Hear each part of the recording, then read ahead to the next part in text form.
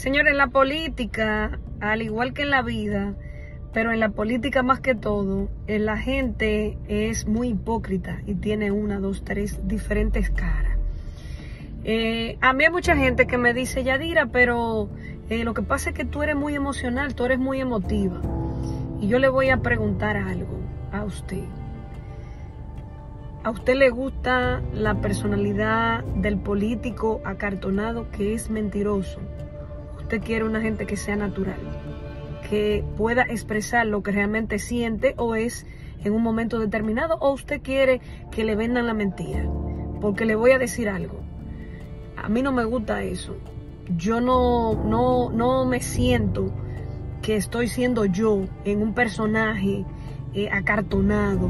Eso yo siempre lo he criticado. Por ejemplo, usted no puede decirle a Luis Abinader que, que se vuelva fuerte, que, que tenga carácter no tiene carácter. Él te habla, uh,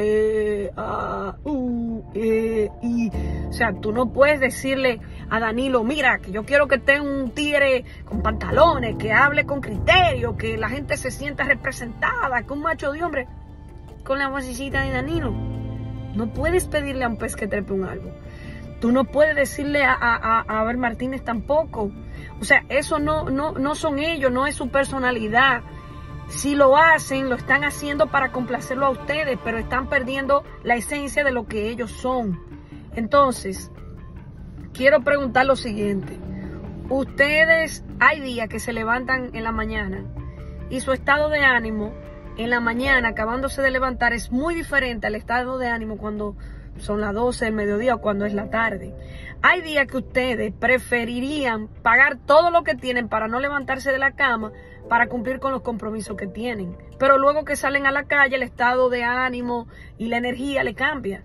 Entonces las cosas no son una camisa de fuerza, las cosas no son rígidas, las cosas son variables y las personas son como son.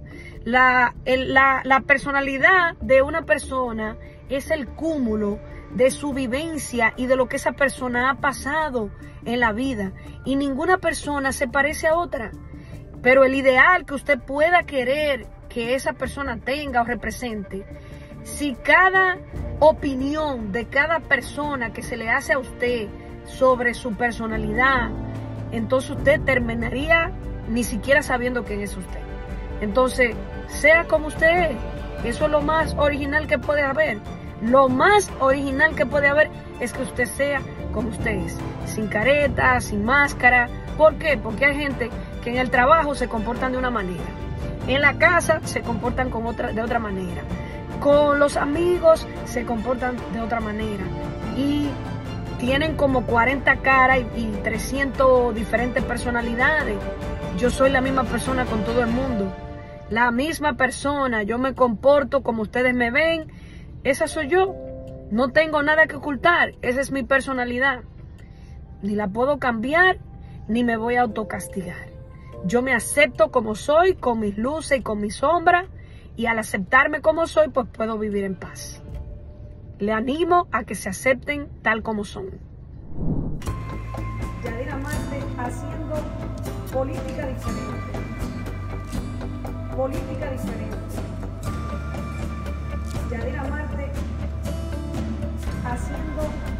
Política diferente.